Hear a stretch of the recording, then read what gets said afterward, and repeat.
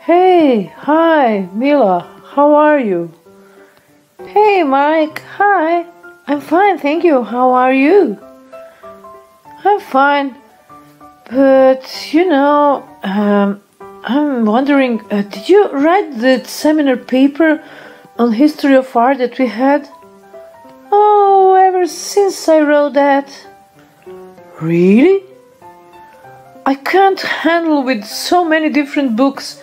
There are so many of them, and I don't know what is valuable and what is not.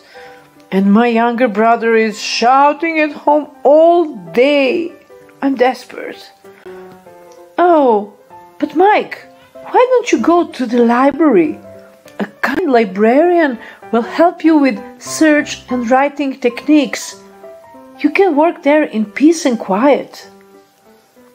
Oh, that's great idea. I'm going right there. Don't forget to try new VR applications that have arrived there. They are awesome.